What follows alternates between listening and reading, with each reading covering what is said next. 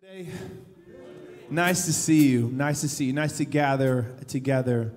Um, what a time to be alive, right? Um, um, um, um, we're reminded as believers not just what's happening in our world, but um, our world that desperately needs God. We're thinking about Afghanistan in such instability. Cr- uh, the Christians there in such vulnerability, people fleeing and in desperation. We think, or we're reminded as, as the people of God, we can't just live in a tunnel, right? It's not just like, am I happy or not? We're the light of the world. We think about um, more than more than 2,000 people who have died in Haiti, and um, through um, a tragic earthquake. And we still, our Father is still Jehovah Shalom, amen? And He has invited us to be carriers of Shalom. As we start today, I don't want us just to gather like, okay, God, what's in it for me today? I want to remind us who we are. I think about that passage in Timothy. We can put that up there.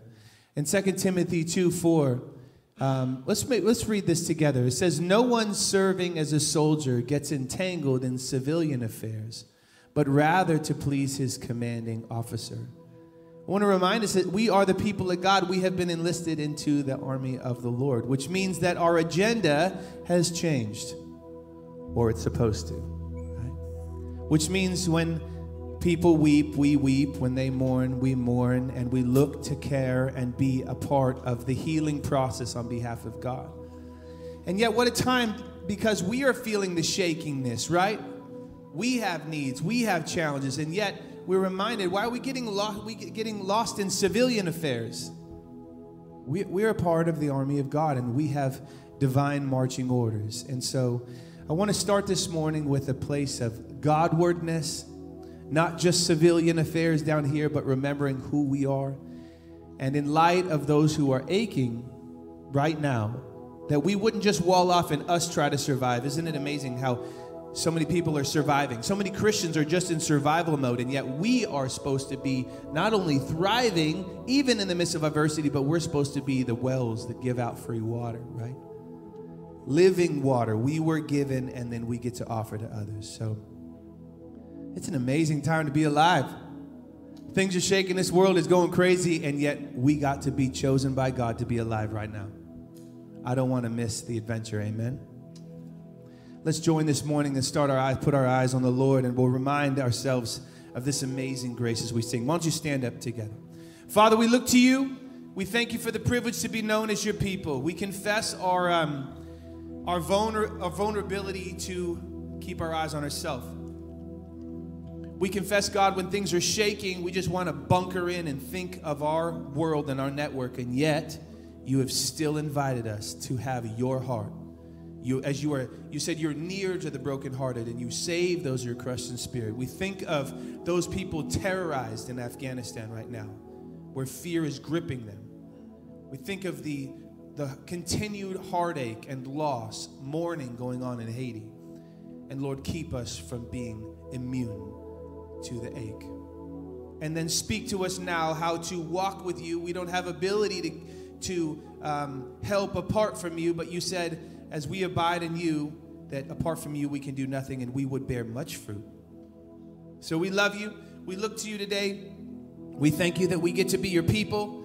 And as we begin in our worship, we thank you that we can sing about this amazing grace. We love you and pray that you be glorified as we praise. In Jesus' name, everybody said, Amen.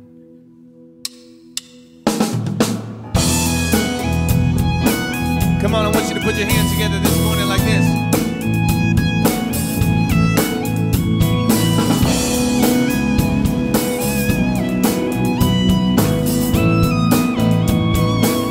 Say, Who breaks the power of sin and darkness? Who breaks the power of sin and darkness? Whose love is mighty and so much stronger. The King of glory, the King above all kings. And who shakes the whole earth? Who shakes the whole earth with holy thunder? Who leaves us breathless and awe and wonder? The King of glory, the King above all kings. Oh, guys, we got a lot to sing about today. This is amazing grace.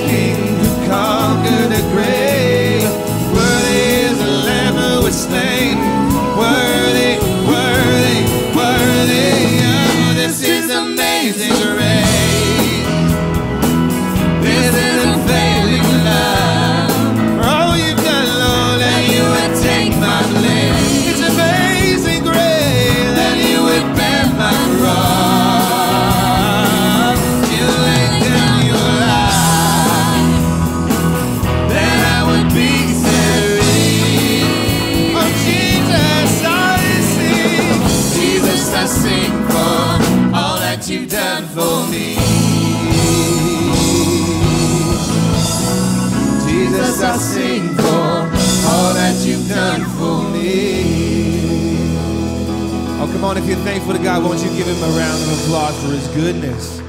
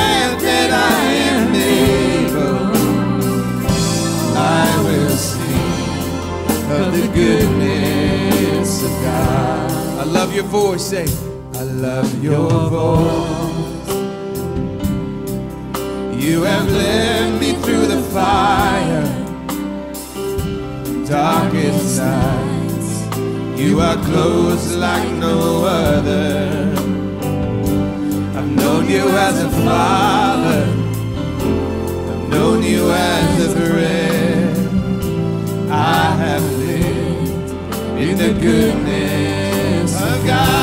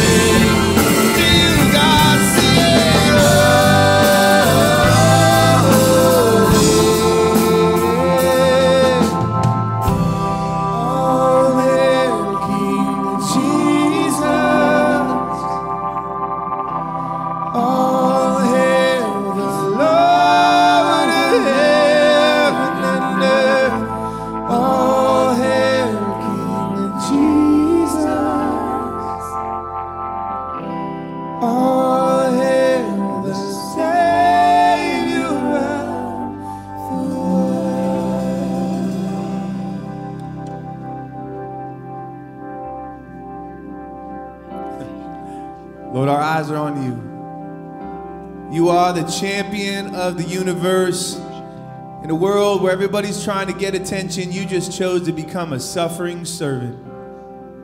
Humble yourself from godhood to a mortal to being trampled by mortals. All because God so loved the world. Your greatness is proved in your humility and sacrifice. Give us the grace to follow your example. And that's why we honor you today. In Jesus' name. All God's people said, Amen. You can be seated. Good morning. Uh, welcome to campus. How amazing is this worship time? I am blessed every week, and I just, I just want to thank you. Um, I am Amy Dewick. And I'm John Dewick. We're happy you can join us today and be a part of this. We have uh, a few things to let you know about. We're glad you can join us at any time. If you are a first time visitor, there is a welcome bag, a little gift for you. It is outside if you walk back out at the end of service to the left at the Hospitality Center, the octagonal building. Uh, they'll give you a small um, uh, packet of information about this church to let you know all that we have happening here and how you can get involved in that. Uh, there's also a connection card in front of you, so if you could fill that out, we'd appreciate it, whether you are returning, if you're here all the time. That's just a way to let the church staff and elders know about prayer requests, praises, things they can be coming alongside you. There's a lot going on for all of us, whether we're here at church or in our personal lives, and that's just one more way to stay connected and let us know how to come alongside you with all of that. So we have a lot of things going on, getting um, things that are getting started in the fall. Um, first of all, we have growth groups that are starting up again. Um, whether you have, uh, whether you're a part of a Sunday school class and you want to to have another opportunity to connect with maybe a smaller group, or you're involved in ministries already on Sunday mornings and you're not able to be a part of a Sunday school class, this is a great opportunity for you to be able to connect with other believers. Um, and the, the, you can sign up for those groups um, online. Another event coming up is this Thursday night is our men's dinner. So if you would like to be a part of that, get to uh, see some old friends, meet some new friends. That's going to be again this Thursday. It is preferred that you let us know that you are coming to that. You can do that on the connection card, or you can go online to do it. But that way, they can get a regular count for what's happening and get the, the numbers and food prepared for that. Also, if you are 18 and under, it is free to attend this. So grab your son, grandson, nephew. Uh, random kid off the street because you can feed them for free at this thing. Maybe, tell the parents. But uh, we'd love to see a large turnout for this. And again, under 18, no charge to attend this, but do uh, pre-register if possible. But I'm sure if you just showed up, it'd be okay. So, um, also Awana is beginning. So sign up for that. Sign up is outside. You can also do that online. Uh, that begins on September 8th. So get your child signed up. But that's also a way that you could be a part of something. Awana requires a lot of people to make this happen. So everything from uh, Giving a story, helping with games, or simply sitting and listening to students say their verses is a great way to encourage and be a part of that. So you can sign up to be part of Awana. You can get your kids signed up for Awana. There is a $10 early bird discount. And I'll tell you right now, both Anthony ONeal and Dave Ramsey would say, take advantage of that. So uh, register for Awana soon. Also, um, we have the opportunity to hear um, Grant Smith. Um, he is going to give um, a um, concert, an organ concert at the Palm campus um, on Sunday, August 29th. Um, for those of you who don't know about uh, like how incredible this is, um, so a piano keyboard has 88 keys. Well How many keys Correct? does an organ have, Amy? Correct. Well done, so, Amy. So so he is actually playing on three levels of 61 keys each, so that's 183 keys, and it has over 50 stops, and this Great. is over 2,000 pipes, ranging from 16 feet to the size of a pencil, he told me. So it's pretty incredible. It's and, it, and actually, we joked um, at the last concert that Luke is kind of the star because he wouldn't be able to do it without his brother turning the pages for him. So. So do come out for all these things. Get involved in this. Uh, we'd love to see a good turnout for that. At this point, we're going to move towards our offering. I'd like to invite the men to come forward. If you're not prepared for this morning's offering, there is a box in the back. You can always go to the Give Now portion uh, online to do that. Um, and as uh, my, new fa- my favorite new pastor, Warren Madam, said, you know the drill how to do this. All right, so if you'd bow your heads with me. Heavenly Father, thank you that we can be here today for this uh, beautiful time together, worshiping through music, through the word, through giving. Uh, you give us so many opportunities to come up uh, in front of you, and we thank you for that. We give you this day, all that's before us, and all that we are. Help us be poured out in service for you. Amen. Amen. Jesus said, Blessed is the one who stays waiting and watchful for my return. And In a time of so much shaking, we got to keep our eyes up to the heavens. This is Keep Watching. Keep watching toward heaven. Come on, put your hands together like this. Keep watching while waiting.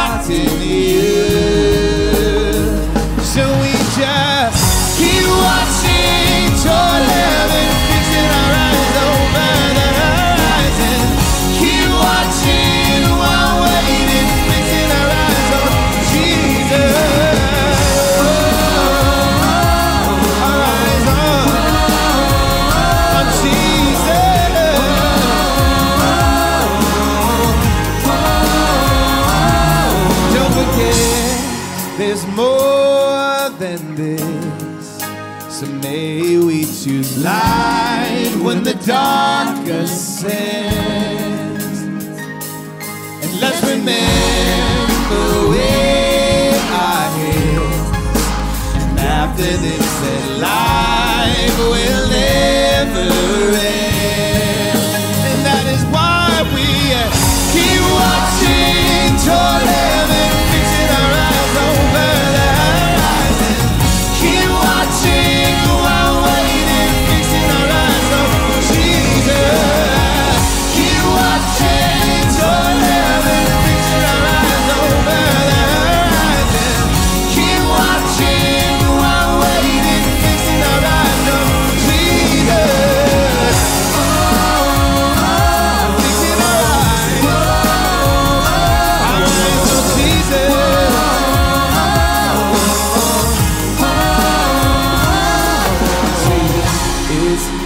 Just heaven.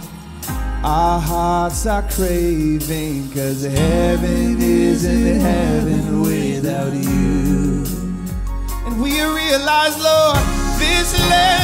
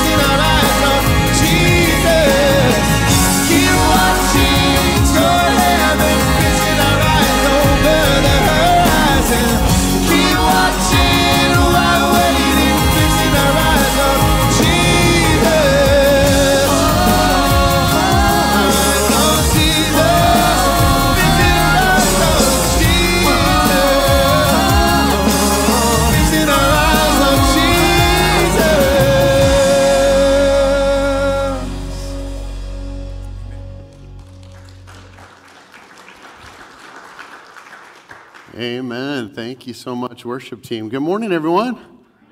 It is so good to be with you this morning. Man, I'm excited to be here. How many of you have heard of the great missionary uh, to India by the name of John Nelson Hyde? His nickname was Praying Hyde. Anyone? Not too many of you. I'm excited. I'm going to tell you a little bit about this man today.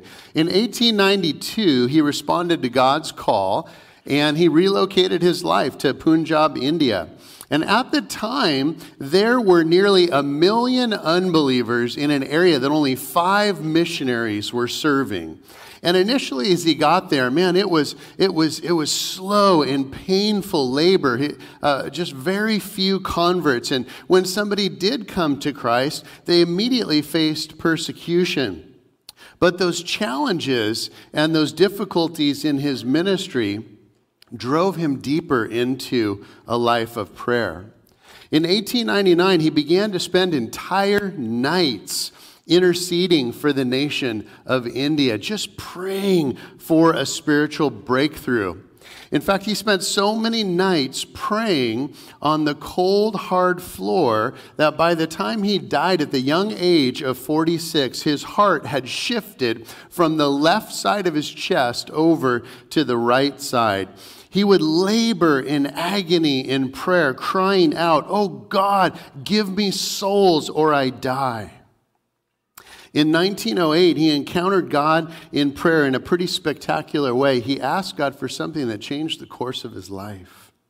He prayed that God would grant him one convert a day, no less. One soul saved each and every day who would be ready to confess Christ in public and be baptized in his name. By the end of that year, folks, 400 people were saved. The following year, Hyde asked for God something even more spectacular. Guess what it was?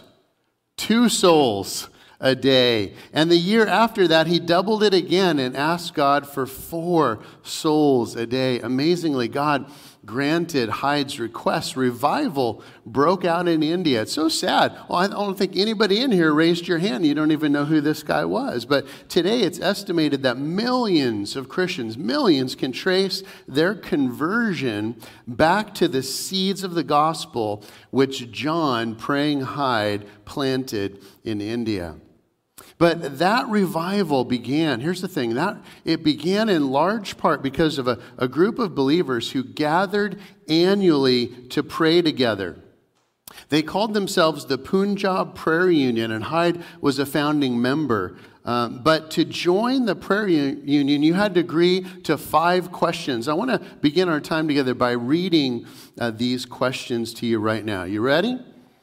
Number one, we'll put them up on the screen. Are you praying for quickening in your own life, in the life of your fellow workers, and in the church? Number two, are you longing for greater power of the Holy Spirit in your own life and work? And are you convinced that you cannot go on without this power? Number three, will you pray that you may not be ashamed of Jesus? Number four, do you believe that prayer is the great means for securing this spiritual awakening? And number five, will you set apart one half hour each day as soon after noon as possible to pray for this awakening? And are you willing to pray till the awakening comes? As we begin this uh, message this morning, can I ask you, how's your prayer life? How many of you resonate with those five questions up there? You have a desperate ache in your soul because you recognize the depth of your own spiritual laziness and apathy. You realize you need the Holy Spirit to do this work. You need Him to quicken you and awaken you to this possibility that it's possible to have a prayer life that is transforming and exciting and deep and rich. You're convinced that you cannot go on without this power. You're desperately hungering for more of God. You want God to move in your life. You don't want uh, Christianity just as some formula. You don't want to be lukewarm, but you realize prayer is the great means for obtaining this spiritual awakening. Now, I realize maybe that's a lot to process before lunch on a Sunday morning. It may take a while for this message to sink in this week. Many of us, I think, are generally unsatisfied when it comes to our prayer life. We feel a little guilty that we don't pray more or, or that we don't have the desire to pray more. Some of us feel like we have trouble hearing from God when we pray.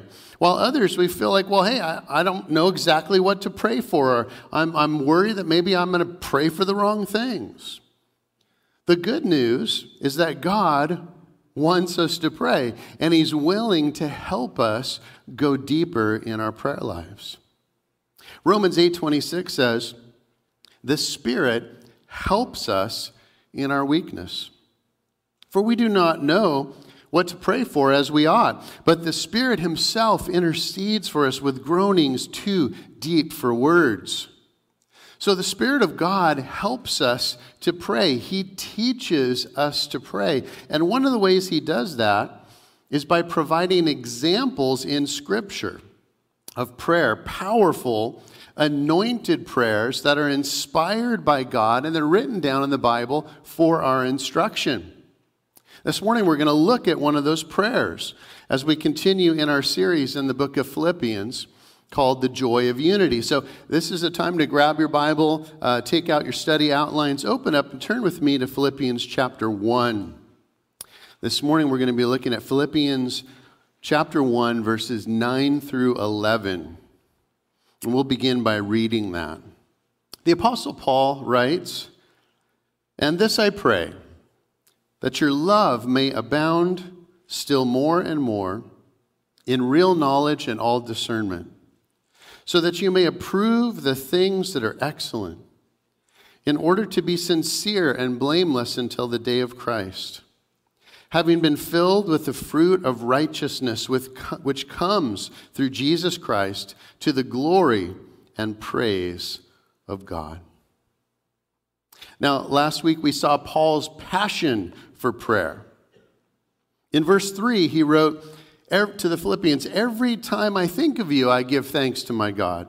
Whenever I pray, I make my request for all of you with joy. We know from that verse that Paul prayed a lot for the Philippians, but what did he pray for? Well, in verses 9 through 11, we see the content here, the substance of what Paul prayed for them. And like most of his recorded prayers, this one is entirely occupied with their spiritual needs. In this short uh, passage, I see seven prayers for a holy life. And before we jump in, I just want to kind of stop and think about that for a moment. Imagine what it would be like if the Apostle Paul could pray for you himself. I mean, he was such a powerful prayer warrior, such a mighty man of God. So if he could intercede for you, what do you think he would ask for? What would he pray for? I think we're looking at it right here. This passage cuts right into the heart of intercession. It reveals our deepest needs. And what that means, folks, is that our deepest needs are spiritual, not physical. That doesn't mean it's wrong to pray for our jobs or our marriages or our finances or our physical health. But in Paul's mind, all those things are secondary. The thing we need more than anything else is a holy life. And the very first thing that Paul prays for is that we would have more love. In verse 9, he says, This I pray that your love may abound still more and more. The word abound means to have more than enough, to overflow with an abundance like a cup that's just spilling over, or, or even a river that's flooding its banks. And as if that wasn't uh, vivid enough, Paul adds another phrase in here for good measure. He says, I pray that your love may abound more and more. Not just more, one more isn't enough. No, I pray that your love may swell and burst and overflow more and more. In other words, I pray that your love would never stop growing. Folks, we can love too little, but we can never love too much. We will never arrive at the place where we can say, I've loved enough. I'm done. I reached my quota. That's it. I'm done loving. No, agape love is always active, it always wants to help. It always wants to share, it wants to care, it wants to serve and give and change things for the better. Now, if that sounds impossible, humanly speaking, it is. That's why we need to pray for God's love to abound in our lives. In fact, if you study uh, the, the grammatical structure of these verses, this right here, this is the main verb. This is the number one thing Paul prayed is that our love as Christians would never stop growing. It should overflow and abound in our daily lives. It should characterize absolutely everything we do. And if that happens, there's a sense here in which everything else will fall into place, everything else will come together. So the big question is well, how does that happen? How can we make sure that our love abounds more and more? Number two, we need to pray for a life of knowledge and discernment. Look back at verse 9. Paul writes, This I pray that your love may abound still more and more in real knowledge and all discernment. How does our love abound? Well, two ways. It grows and matures and develops in knowledge and discernment. Those two elements provide the environment, or we might say the soil, in which love grows. The Greek word here uh, for knowledge is epignosis, referring to a deep, real, experiential knowledge of the things of God, like His character, His word, His truth. The word discernment, on the other hand, refers to moral discretion. It's the ability to distinguish between good and evil. And Paul's point is that knowledge by itself is not enough. Obviously, Christians have to have uh, knowledge uh, to become believers. We have to have a knowledge and understanding of the gospel. It's essential. But we also have to apply the truth of the gospel. It's not enough to know what the Bible says. We have to know how it affects our daily life. That's where discernment comes in. So, knowing and living go hand in hand. We need to grow in knowledge and we need to grow in discernment of what's right and wrong. Those two things should always go together because without them, love is impossible. Now, let me give you an example. How many of you have seen the bumper stickers or the yard signs that say, Love is love? How many of you have seen those around? Are you guys awake this morning? Really? Are we living in the same city? How many of you have seen those stickers? Love is love. This is becoming a mantra for those who advocate the LGBTQ lifestyle. And their argument, may, a sincere argument, may go something like this Hey, we love each other. We're kind to each other. We take care of each other. We make each other happy. We're in a committed relationship. Love is love, right? Love is love. Well, how should we reply to that? I would say, hopefully, in a very loving way. But I would suggest opening our Bibles to 1 Corinthians 13 and reading verses 4 through 8 because that's God's definition of love. Look at it with me. Love is patient, love is kind. It does not envy, it does not boast, it is not proud, it's not rude, it's not self seeking, it's not easily angered, it keeps no account of wrongs. Love takes no pleasure in evil, but rejoices in the truth. It bears all things, believes all things, hopes all things, endures all things. Love never fails. I, I want to highlight what uh, verse 6, just for, the, for this particular uh, topic. It says that love takes no pleasure in evil. In other words, love requires discernment the ability to distinguish between good and evil. Love, by nature, can never celebrate sin. It can never participate in rebellion or disobedience to God. Furthermore, it says love rejoices in the truth. In other words, love requires knowledge. It requires knowing and believing God's word. In a nutshell, folks, what this means is that love has an objective standard. People can't just make up their own ideas about love. God created love. In fact, you know, the Bible says God is love. So if someone said to you, I love my dog and I want to get married, hey, love is love, right? How would you respond to that? Well, if you have no objective standard of truth, no absolute definition of what love is, then what else can you say but, hey, I guess you're right? Go ahead and marry your dog. Who am I to tell you what's right and wrong? But if you believe that God is the maker of heaven and earth, and that He has created the moral laws of the universe, He's revealed them to us in Holy Scripture, then you can reply, absolutely not. It's morally reprehensible to marry your dog because that is a violation of God's beautiful design and purpose for human sexuality.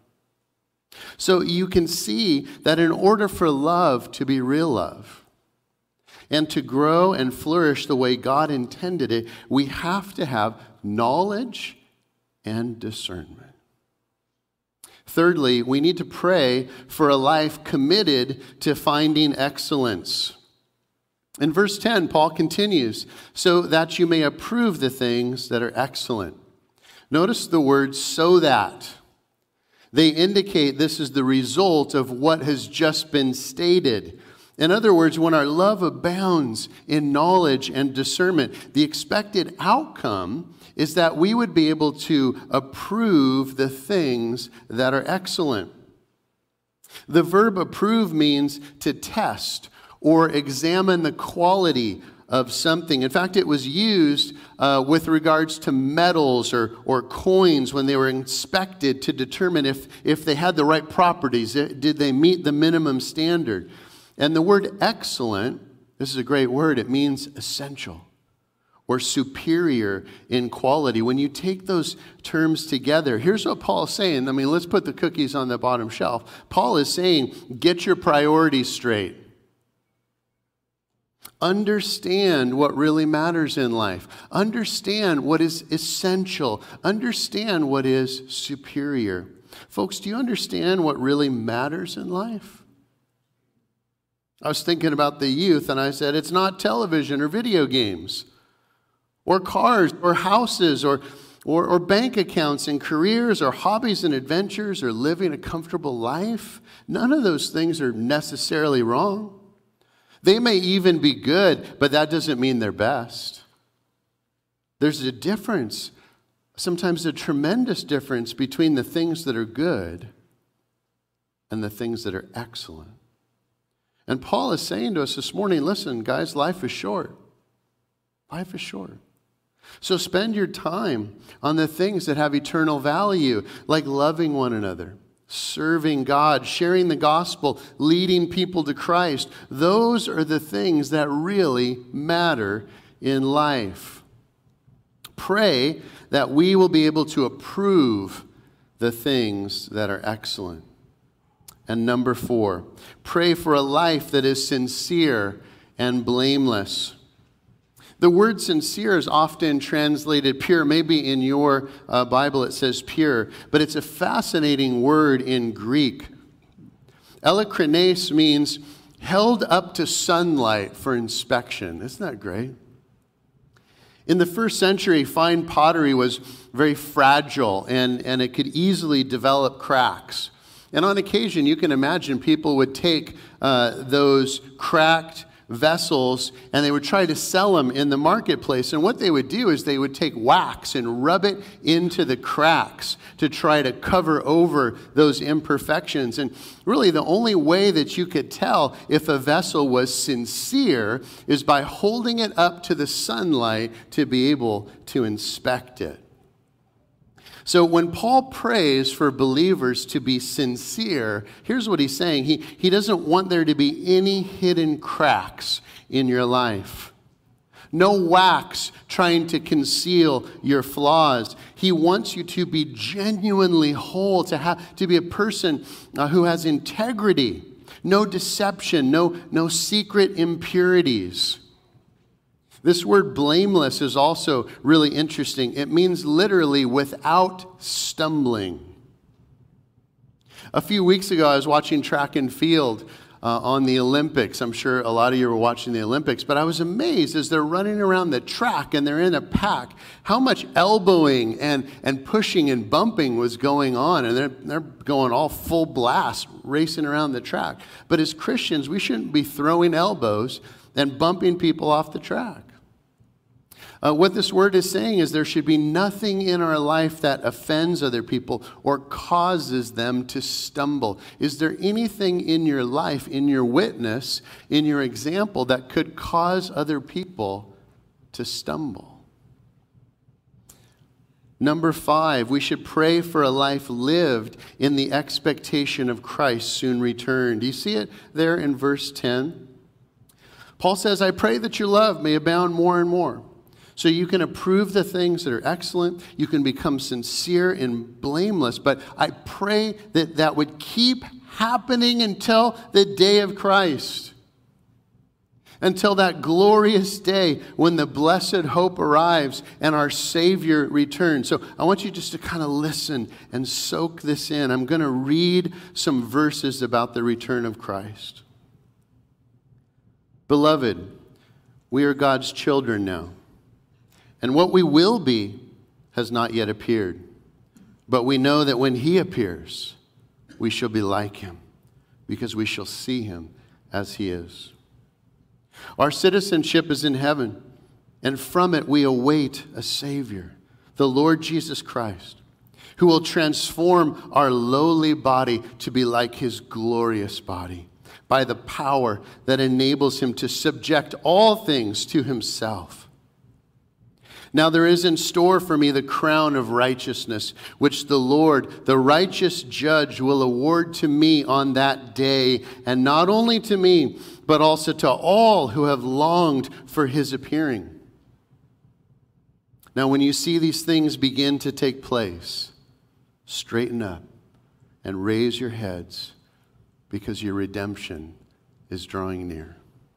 Therefore, watch, because you do not know the day on which your Lord will come. Listen, I tell you a mystery. We will not all sleep, but we will all be changed. In an instant, in the twinkling of an eye, at the last trumpet. For the trumpet will sound, the dead will be raised imperishable, and we will be changed.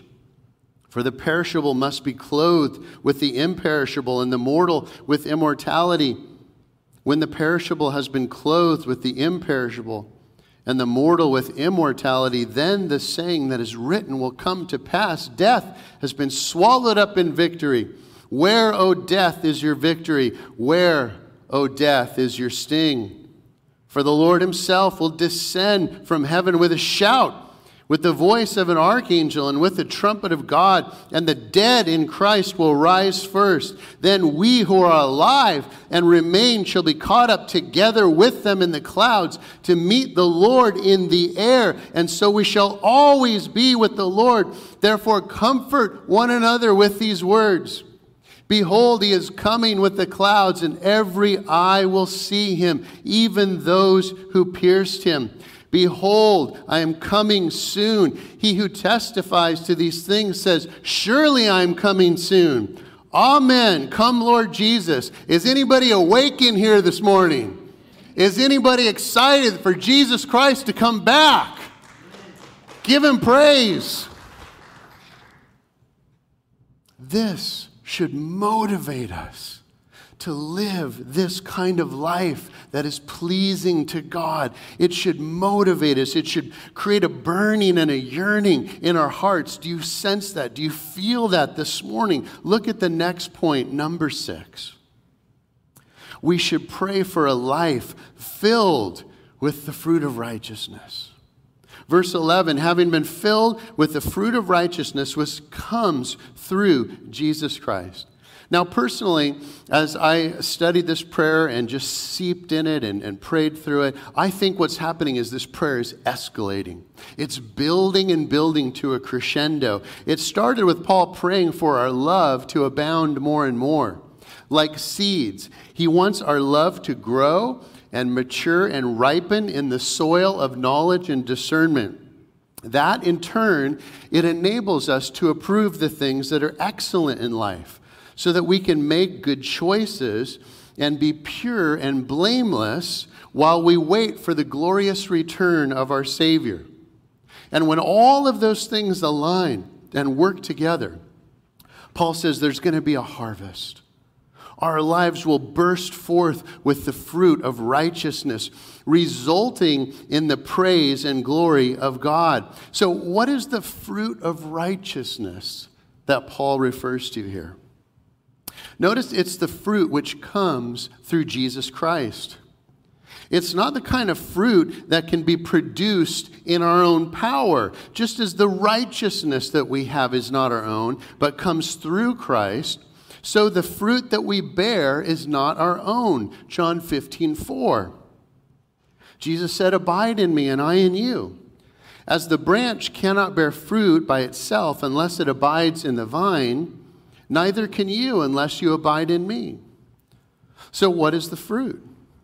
Well, it's the fruit of the Spirit listed in Galatians 5 22 and 23. It's the fruit of repentance described in Matthew 3 8. It's the fruit of good works mentioned in Colossians 1 10. It's any fruit that the Holy Spirit bears in our lives as we abide in Christ and walk in righteousness. Do you see how that kind of fruit magnifies the Lord?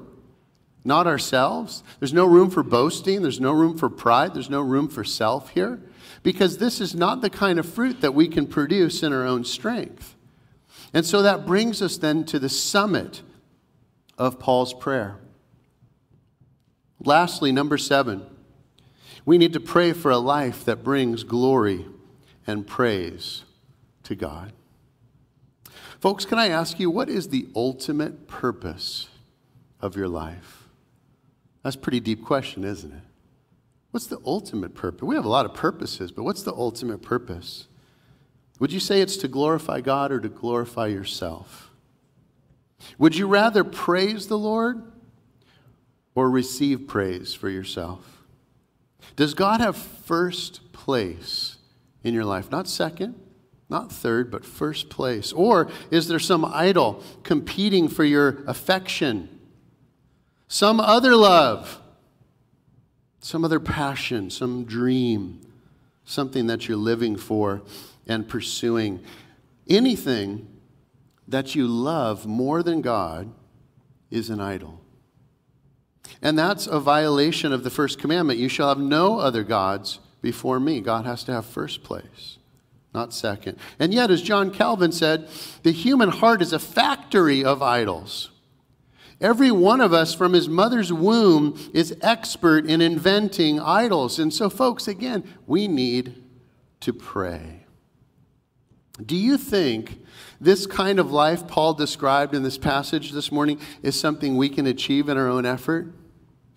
There's no way, not a chance. This is a supernatural life that requires supernatural power. And therefore, what Paul is saying is, is we need to develop a supernatural prayer life.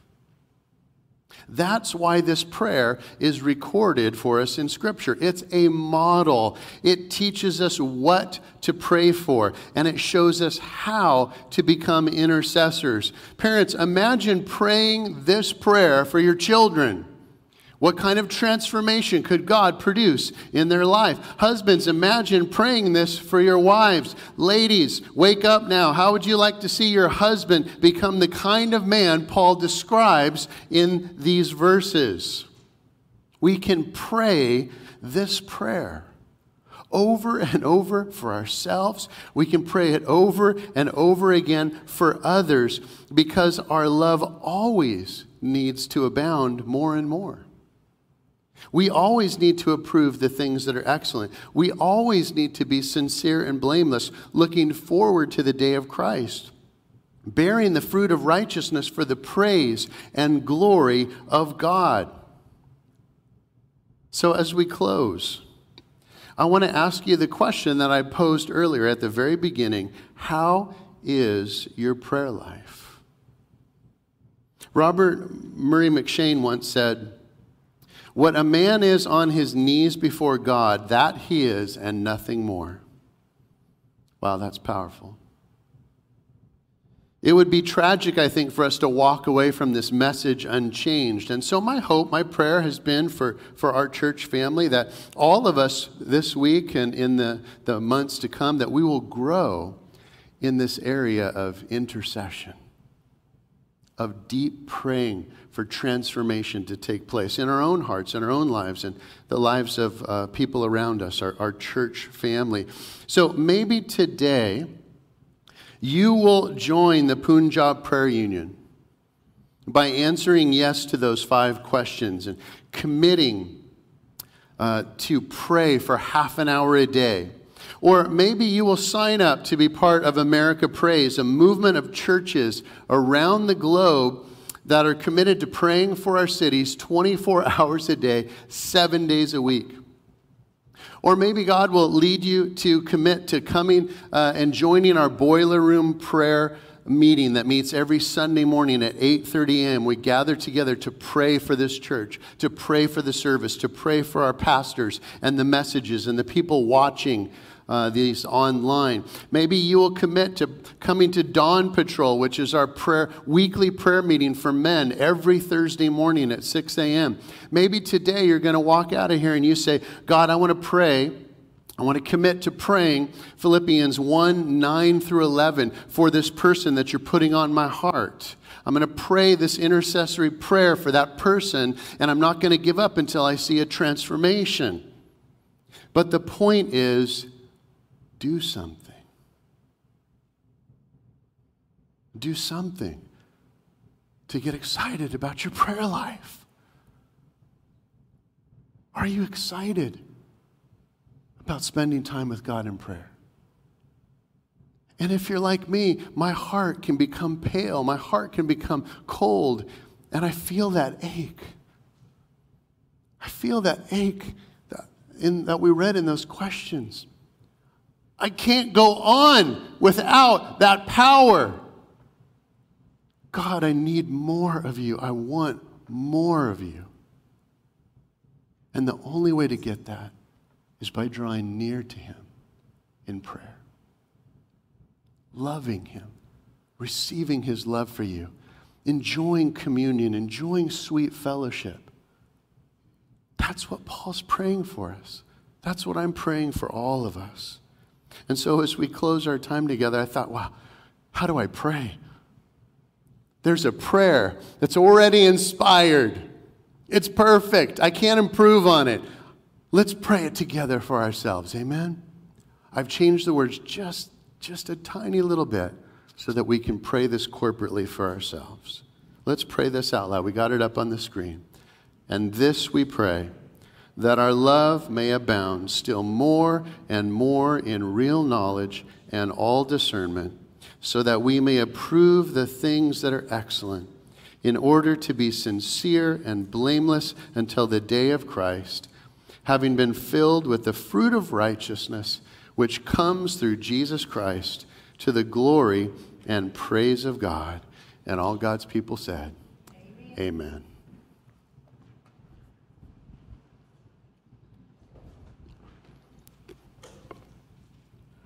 As you know, if you've been a campus for any length of time, you know that we are a sending body missionally. We love to support our missionaries, but we not only are a sending body, we are a giving body. We love to help those who are hurting and who are in need. Scripture calls us to care for the widows and orphans and those who are in need. And there are plenty who are in need right now, right? Four times a year, we take a love offering. It's called our love offering. We take those funds and do we distribute it to those who are in need. And we haven't taken this offering in a while, but just because we haven't taken it in a while doesn't mean the needs have stopped. We literally take these funds and, and are the hands and feet to those who are maybe struggling with the rent, maybe struggling with the PG&E payment, maybe needing a plane ticket to get someone who's got COVID. So, as the men come forward, we're going to take this offering. Please give generously, give hilariously, that we may be uh, able to just impact someone's life. I can speak personally from the effects of this offering. It's an amazing ministry we have that this committee gets to spread the love of Jesus with a financial gift. So let's pray. Father, there are so many around the world that are hurting right now. Pray for those who are hurting with COVID issues. Pray for those who are uh, in Haiti right now, dealing with the loss and the tragedy over there. Those who are in Afghanistan, God, just the confusion, the chaos. Those who are hurt, trapped. But Father, we also pray for our community, those who are hurting across the street, next door. Those are in this particular body right here. God, there are people I know who are struggling financially, emotionally, spiritually. Pray that you would take these funds that we collect and that you would guide us to those who are hurting, that we may be able to share a cup of water, a loaf of bread with somebody. I pray that you would just bless this offering, that you would bless those who will be the recipients of it. We thank you for this church. Thank you for being uh, this city on a hill, this light that we get to be in this city. What an opportunity. I thank you for each one that's here, for each one that you're putting on their heart right now to, to give a financial gift. So we pray this in Jesus' name. Amen.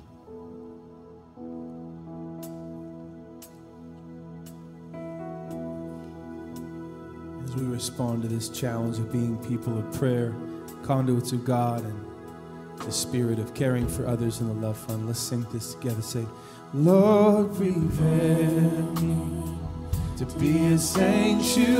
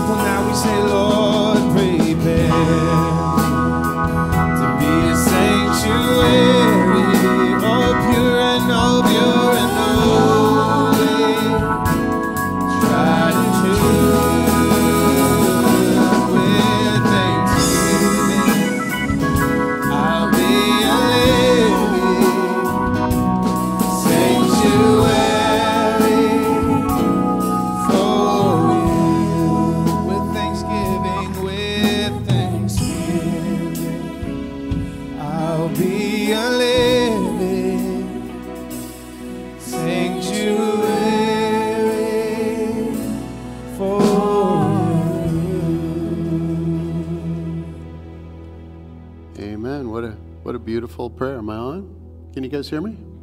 What a beautiful prayer. What a beautiful way to close our, our time together. Thank you for, for coming. Thank you for being here. If maybe, maybe you're visiting today, maybe this is your very first time, and just want to remind you as you as you head out, if you never had a chance to kind of introduce yourself, let us know that you're here. If you just stop by the information center, we just want to give you a gift and, and thank you for, for joining us this morning. I want to give a, a personal invitation to the men. Uh, to come to this dinner on Thursday night, 6:30, right here, right, right in the Maple Auditorium. Our guest speaker is going to be Roger Minassian, the man who founded Hope Now for Youth, a ministry that is reaching out to gang members and, and, and bringing them off the streets and, and giving them jobs and, and transforming families. And, but the theme for this dinner is fatherhood. Where are the fathers? And Malachi talked about how, how that there would be this famine uh, in, our, in our generations, that where, that where fathers, their hearts would need to be turned to their own children. And how many of us in our own families need the hearts of our children to be turned to our fathers? This is going to be a powerful theme. We're going to hear a testimony from a young, a young man who was on the verge of suicide. And Roger Minassian, saw something in this young man. He saw something and he reached out to him, and God used him to lead him to Christ and saved his life. It's going to be a beautiful time. Guys, would you join us? Would you sign up? Would you let us know if you could sign up today? Uh, so that we can order the right amount of food. And I really want to encourage you to be there. Father, we thank you so much for this day. Thank you for the fellowship that we have in your spirit. Thank you for the power of your word. Uh, your word is living and active, sharper than a double edged sword. It is able to pierce and penetrate into our heart and even uh, expose the motives of our heart. And so we pray that your word would bear fruit today in our lives. I pray that we wouldn't forget this prayer that we just talked about. That it would be something that we turn back to and we pray it for ourselves, for our families, our kids, our spouse. Lord, more than anything, we just want to say we love you. We're so blessed. We're people who've received grace upon grace, and we don't deserve it. We never did, we never will, but we thank you for it today. Help us to be worshipers as we go out those doors, that we would be the same people Monday through Saturday as we are when we put on our church clothes and come into this building on Sunday. Lord, help us to live for you and love you and shine your light. All God's people said, Amen. God bless you guys. You have a wonderful week.